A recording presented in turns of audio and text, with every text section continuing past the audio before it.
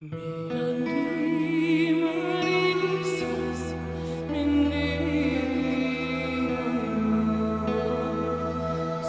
most objects of desire, we're part of a very rare collection, the Sheraton Imperial Kuala Lumpur, a member of the Luxury Collection.